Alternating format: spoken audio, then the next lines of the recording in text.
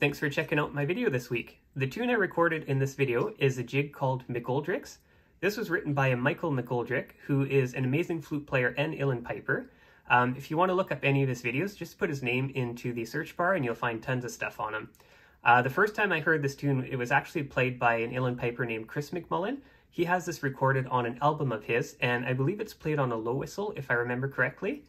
Um, there's also a really good recording of this done by a band called Kassir.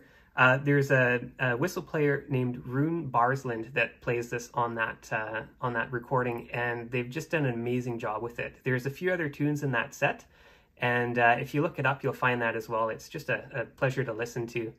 Um, so yeah, this was a tune I fell in love with when I first heard it, and I really wanted to try and play it one day.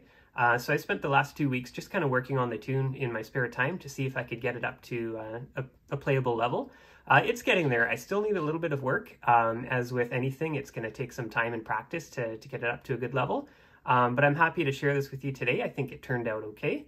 Um, so yeah, I don't have much I'm going to say this week. I just want to kind of focus more on the playing and less on the talking, but uh, I'll definitely keep you in the loop if I have any big changes or revelations to share. Um, so yeah, thanks for joining me on this video this week, and uh, I hope you're having a good one and staying safe out there.